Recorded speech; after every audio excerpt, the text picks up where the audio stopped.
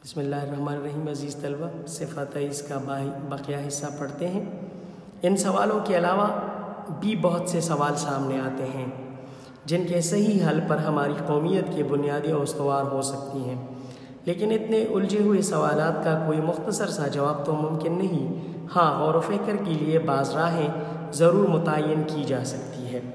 अलाम इकबाल ने अशार में जा बजा वतनीत के मगरबी तस्वर की मुखालफत की है।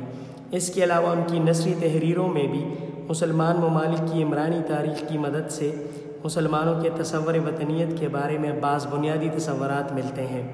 इस मरहले पर जोग्राफ़ी और मुजरद तस्वरत मुजरद ऐसी चीज़ें जिनका कोई मादी वजूद ना हो के दरमियान रब्त की तलाश हमें पाकिस्तानी कौमियत की असल बुनियाद तक ले जा सकती है।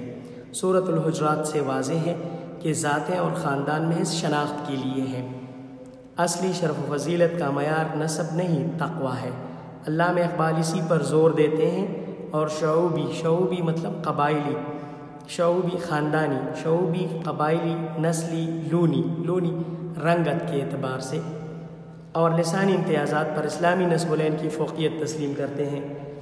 यानी जो दीगर ममालिक हैं जी दीगर अकवाम हैं, वहाँ पर ख़ानदानों और कबाइल की बरतरी की बात की जाती है। इस्लाम इन चीज़ों पर यकीन नहीं रखता, बल्कि अल्लाह ताला ख़ुद कुरान पाक में इसकी तरफ़ इशारा किया गया है कि नसब जो है या रंग नस्ल जो है, इसका, इसकी बरतरी कोई ख़ास अहमियत नहीं है। बल्कि अगर अल्लाह के नज़दीक कोई है तो वो तकवादार है। तो इकबाल भी इस चीज़ को तस्लीम करते हैं। और यही वो मरकज़ी नुक्ता है जहाँ से हम मस्कुरा बाला मसाइल को हल कर सकते हैं। बाकी रहा लसानी मसला तो इस्लाम की इमरानी तारीख़ के मुताले में इसका जवाब मौजूद है। ज़ुबान इजहार का वसीला है। सदियों तक तमदनी सतह पर तरजीहत का एक असूल कायम रहा है, जिसकी रूह से अरबी को कुरान पाक की ज़ुबान होने की वजह से फ़ोकियत हासिल थी आलम इस्लाम की सकाफ़ती ज़बान फ़ारसी थी। मुसलमान जिस मुल्क में भी गए, वहाँ की ज़बान को उन्होंने इजहार का वसीला बनाया। जिस इलाके में पहुँचे, वहाँ की इलाकाई ज़ुबान उनके लिए तबलीग हिदायत का ज़रिया बनी। यानी मुसलमान ताजर या मुसलमान फ़ातिहीन जहाँ कहीं भी गए, उन्होंने मुकामी ज़ुबानों की सीखा। अगरचे मुसलमानों की जो ज़ुबान थी, वो अरबी थी।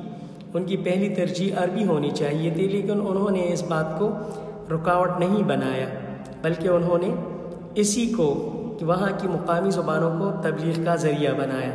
ज़ुबान के साथ परस्तिश का कोई शायबा शामिल नहीं किया गया, यानी इसकी ज़ुबान की इबादत नहीं की गई।